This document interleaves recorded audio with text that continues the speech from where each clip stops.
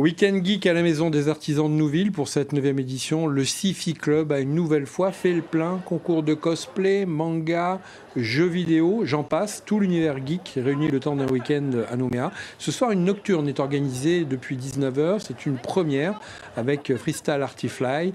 Et puis, 7 euh, à 8 000 visiteurs sont attendus tout ce week-end. Image signée Gaël Decheverry.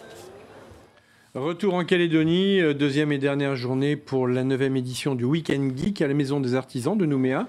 Euh, un dimanche consacré aux jeux de rôle et aux cartes magiques. Près de 4000 personnes sont venues découvrir cet univers de pop culture.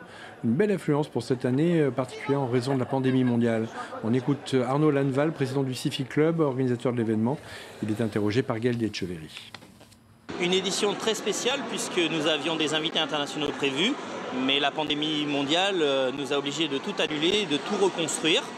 Euh, comme tous les ans, nous avons invité les, dessinateurs locaux, les artistes locaux, qui ont bien répondu cette année, qui sont venus euh, se présenter à l'ensemble de nos, publics. L'année prochaine, qui sera notre dixième édition, nous espérons qu'on puisse revoyager et qu'on puisse ainsi pouvoir faire venir plusieurs invités internationaux pour essayer de faire une énorme édition pour le dixième anniversaire pour que l'ensemble des Calédoniens puissent voir euh, énormément de choses différentes.